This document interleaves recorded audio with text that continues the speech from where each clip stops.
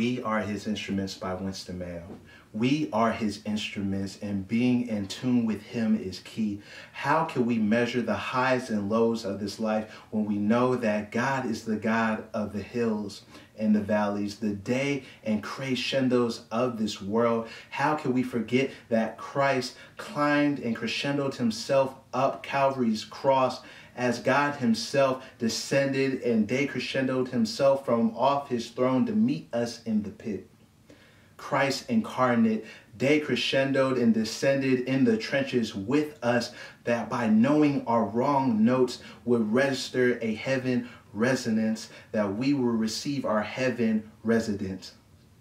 He heard our brash, brash clay cry, and he sounded the trumpet and instead gave up his last breath, knowing that bloody blow of his would win would be the bloody blow that would win us back from being lost to his fold.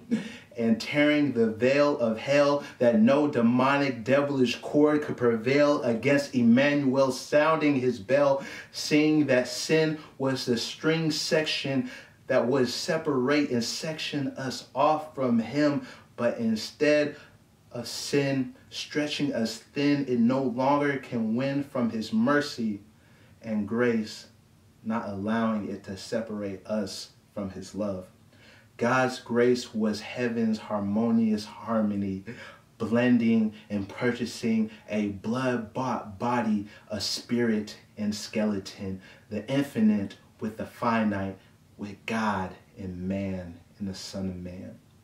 And though humanity took a hit and was percussed and concussed and pushed out of our purpose, yet and still the strokes of his stripes banded us and bandaged us together with him, aiding us to be in step with him, that we would not march with the mark of the beast, but instead to the beat of his drum we sound, majoring in the seal of his salvation, the blood of him being the symbol of his love.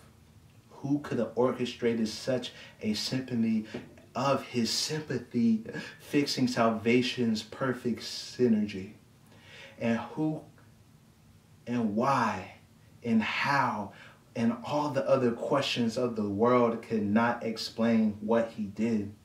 And how could we not conduct ourselves accordingly, even though our accordion faith leads us astray when we know we should stay, but yet and still God has such an air about him that as we push away, it causes us to grow closer with him.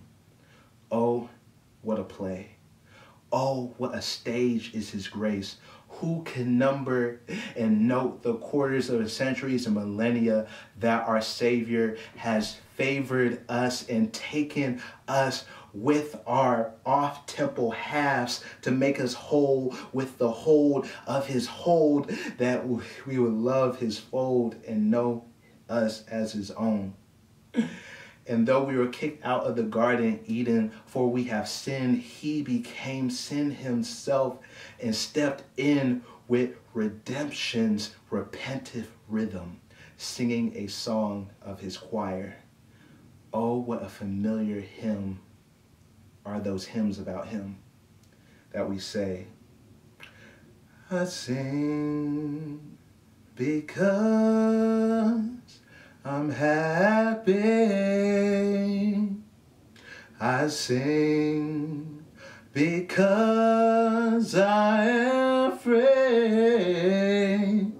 His eyes are on the sparrow, so I know he watches me along with all of us. So, how can we not get in rhythm with creation's waltz that moves us and cut time as we are moved to cut ties to the world and be in step and in sync with His Son? We are merely His instruments, instructed to be intimate with Him. With his finished work that need not be repeated, salvation's playlist that shuffled us with him and himself, that grace should not be replayed but simply repaid by him that he offered us his instruments. You know